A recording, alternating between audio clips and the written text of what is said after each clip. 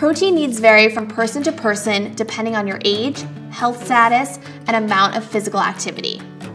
In general, for an individual who is of good health and completes a well-rounded fitness regimen on a weekly basis, the need is 0.8 grams to 1 gram protein per kilogram of body weight.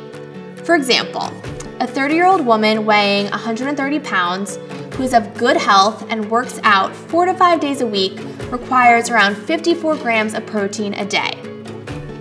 So how easy are these requirements to meet on a plant-based diet? Well, if you start your morning with half a cup quinoa porridge topped with two tablespoons chia seeds and one tablespoon of walnuts, you are starting your day with 15 grams protein. For a snack, if you have a banana with one tablespoon peanut butter, you're getting another four grams.